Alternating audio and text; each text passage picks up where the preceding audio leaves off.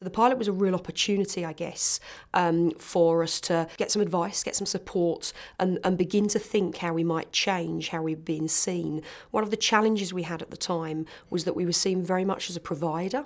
We weren't seen as a strategic leader. We weren't seen as a, maybe a service who could influence and shape, really, um, how we tackle the priorities of the local authority around health, around education, around economic development. And there was a lot of sort of um, initial need to sort of think about it and sort of um, be honest with ourselves that maybe things needed to change? It's, it's attitudinal change, it's a cultural change, um, and you need to continue to work at it. It's early days in terms of the partnership, but it's making those connections.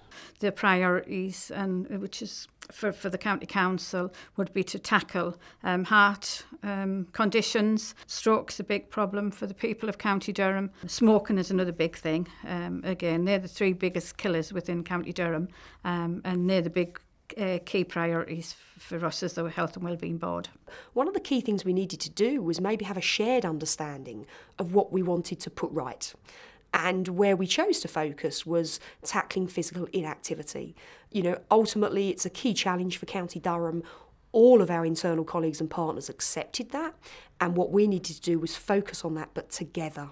So I think when we first met as a group, perhaps some of us struggled to understand why there were so many different disciplines around the table. But I think quickly we realised it was really important to have all the different representation there. Certainly from a health point of view, uh, so there was myself representing GPs and CCGs. uh, there was a public health consultant, and there was a hospital consultant. The things that we brought to the group, I don't think they would have got if we hadn't been there. But even more importantly, uh, even though we knew about the health and the statistics, we would not have had you know any idea of the uh, extent of the infrastructure, the support services, the activities that are already going on, uh, you know, and, and how to find out this information. So I think it really, really, you know, it was it was clear early on that we needed everyone around the table. This was set up as a leaders group and this that was a really interesting way in for us because one of the difficulties we have with partnership working is we've, we've got to spend quite a lot of time working out where we're all coming from and what we're going to get from the partnership and what we're going to bring to it.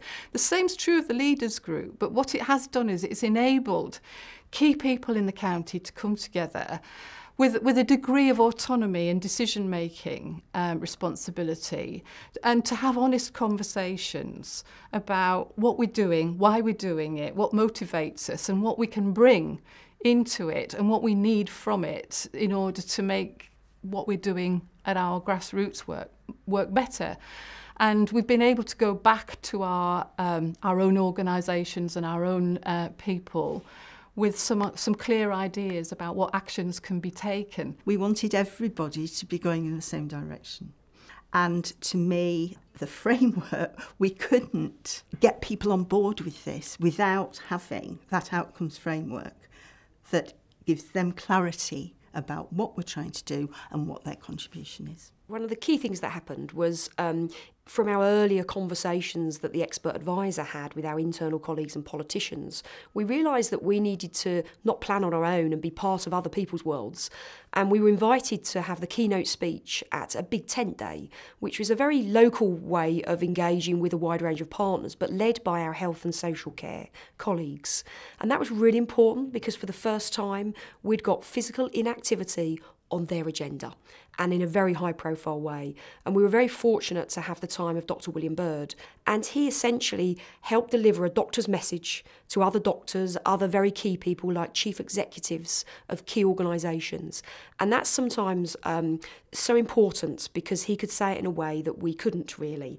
And he had such powerful stats, powerful evidence base, which particularly for health and social care sort of colleagues is incredibly important. They they build their services on evidence and it was really important that we understood that we weren't going to be able to work with them unless we understood that evidence base. That contact with someone who's got more experience and has got the evidence to back it up. You know, GPs probably quite skeptical uh, of a lot of things, but if you can back it up with evidence and science and say, well, actually, this is the this is the effect that you might have, then I think that's that's easier. And I think actually hearing that from another GP was also a big benefit as well. So I think probably as a result of that day, Uh, we've got more of our GPs recommending physical activity, signposting patients to physical activity on a regular basis. When the uh, Active Durham Partnership first came together, it was very much focusing on purely physical activity outcomes. We were very keen to broaden those outcomes and that uh, broader perspective.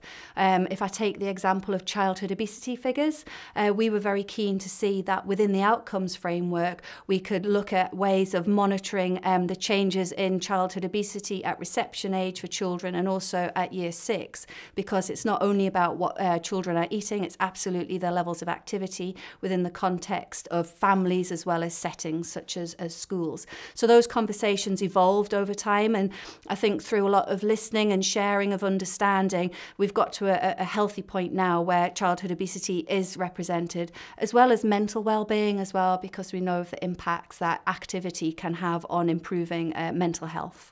There's been a long history, and there is in a lot of uh, local authority areas of people working in silos. So it was an opportunity to come out of the silos and and just look at where we had synergy, particularly between public health, sports and culture, the voluntary sector, and, and economic development as well. Making sure you're open to different people's perspectives on something and recognising that how you sometimes see things is not how others do. So you've got to be willing to have those open conversations. From my side, we're interested in um, sustainable travel, active travel, walking, cycling. We've got to deal with congestion on the roads, we've got to deal with air pollution, we've got all of these things. Sort of, if we can get people out of their cars and walking, cycling, using public transport um, are of benefit to the individuals, they're of benefit to the environment, in, benefit to the economy. Um, and so it's sort of natural synergy with trying to get people active, trying to get people um, out of their cars, off their, you know, on their feet, um, and that sort of thing. So, although we come at it from a very different angle, but actually in terms of activity and get, you know, tackling uh, obesity, tackling all, all of that sort of mental health issues, um, it, just lines. Successes, I think, are really quite significant. Firstly, um, most significantly for me, our new corporate reorganisation as a service has got a dotted line between our culture and sports service and our public health team. So I think in many ways without this project, that recognition of how important our service is to health may not have been recognised. I think some of the key successes have been about consolidating relationships and having a greater appreciation of each other's perspectives. So for us um, in public health, it's it's looking at what are the win-wins with working with culture and sport and wider partners. And I think that's been a real successful journey, certainly over the last 18 months that I've been part of, of the um, the partnership and, and the work that we've been doing. It's it's having that shared sense of accountability.